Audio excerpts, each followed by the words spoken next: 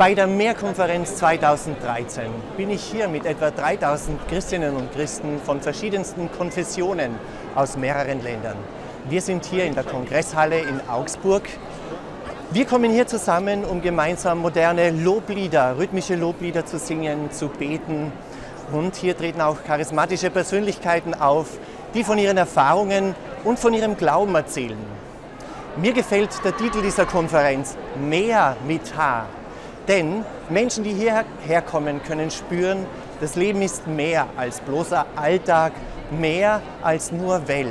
Ich denke da an die Menschen, die in den vergangenen Stunden zu mir gekommen sind und die mir erzählt haben, zum Teil unter Freudentränen, wie glücklich sie es macht zu glauben. Und mir fällt dazu auch ein die Taufe Jesus, Jesu, von dem das Evangelium erzählt. Als Jesu getauft wurde, heißt es da, öffnete sich der Himmel über ihm und es war eine Stimme aus dem Himmel zu hören, du bist mein geliebter Sohn.